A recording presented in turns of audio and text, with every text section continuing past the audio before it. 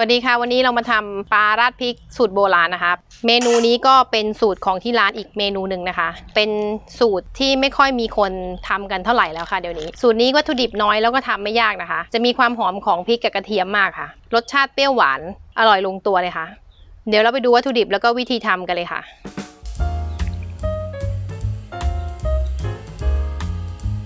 เตรียมพริกสดแล้วก็กระเทียมก่อนนะคะ จะนำไปสับหรือจะนำมาปั่นก็ได้ค่ะพริกที่ใช้เราจะใช้พริกสีเขียวนะคะกลิ่นจะแตกต่างกับพริกแดงค่ะ แต่ถ้าหากว่าไม่มีก็ใช้พริกแดงได้นะคะ แต่กลิ่นก็จะต่างกันนะคะ ถ้าชอบเผ็ดนะคะ ก็ใส่พริกเพิ่มได้อีกค่ะ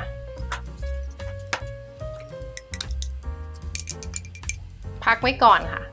แล้วก็เอาปลาที่ซื้อมานะคะ ล้างทำความสะอาดซับน้ำให้แห้งนะคะ โรยแป้งเคลือบตัวปลานิดหน่อยนะคะ จะใช้แป้งทอดกรอบหรือว่าแป้งสาลีอเนกประสงค์ก็ได้ค่ะ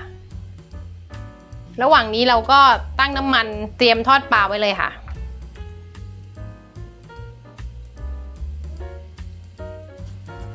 เสร็จแล้วก็ไปทอดเลยค่ะ เดี๋ยวเราจะเช็คดูว่าน้ำมันร้อนได้ที่หรือยังนะคะ นี้ใช้ได้แล้วค่ะ มีฟองขึ้นมาจากปลายตะเกียบไม้นะคะ จะเบาไฟลงเล็กน้อยค่ะ ใช้ไฟกลางทอดนะคะ ไม่ต้องแรงมาก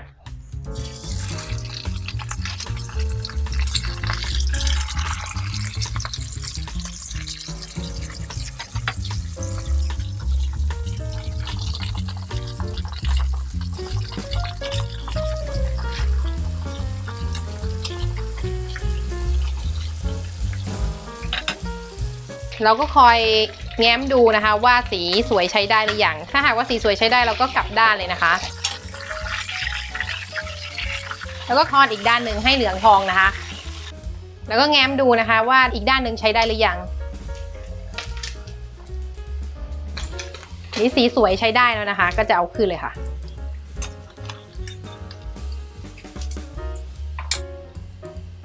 พักไว้ที่ตะแกรงก่อนนะคะ ให้น้ำเสด็จน้ำมัน ทำน้ำราดพริกเลยนะคะ เราใส่พริกกับกระเทียมลงไปก่อน เราจะได้กะปริมาณน้ำมันถูกนะคะ ถ้าน้ำมันน้อยเกินไปก็จะผัดยากนะคะ แต่ถ้าใช้กระทะเทฟลอนก็ไม่ต้องใช้น้ำมันเยอะผัดได้สบายเลยค่ะ แล้วก็ใช้ไฟกลางผัดนะคะ ไม่ต้องแรงมาก ผัดให้กลิ่นหอมออกมาเยอะๆค่ะ ตอนนี้ผัดจนหอมมากแล้วนะคะ เราก็จะเติมน้ำแต่เราจะใส่ไม่หมดจะเหลือน้ำไว้ผสมกับแป้งมันเล็กน้อยนะคะ แล้วก็ปรุงรสเลยค่ะ น้ำตาลสี่ช้อนนะคะ น้ำปลาสี่ช้อนค่ะ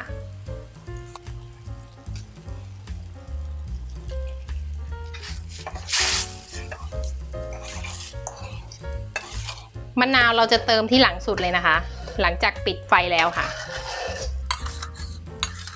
คนให้น้ำตาลละลายดีค่ะ แล้วก็เติมแป้งมันเลยค่ะ แป้งมันประมาณ 1 ช้อนนะคะ ผสมกับน้ำที่เราเหลือไว้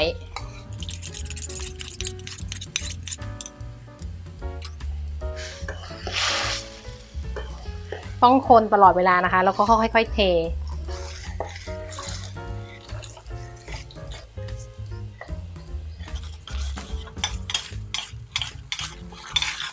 ผัดจนแป้งมันสุกนะคะ เดือดขนาดนี้ใช้ได้เลยค่ะ ปิดไฟเลย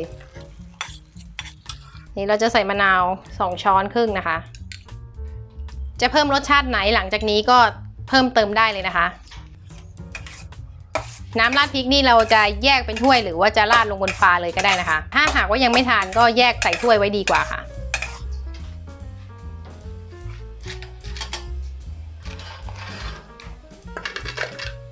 จะมีกลิ่นหอมพริกแล้วก็กระเทียมมากเลยนะคะ สูตรนี้ก็รสชาติเปรี้ยวหวานค่ะ กลิ่นนี่จะแตกต่างจากปลาราดพริกสูตรทั่วไปนะคะ ขอบคุณสำหรับการรับชมคลิปนะคะ ถ้าชอบก็กดไลค์กดแชร์กดติดตามนะคะ อย่าลืมกดกระดิ่งแจ้งเตือนเพื่อที่จะไม่พลาดคลิปใหม่ๆนะคะ คลิปต่อไปของพวกเรา และพูดคุยสอบถามกับพวกเราได้ที่เพจ Facebook สวนครัวคุกกิ้งอย่าลืมกดติดตามเพจให้ด้วยนะคะสำหรับวันนี้สวัสดีค่ะ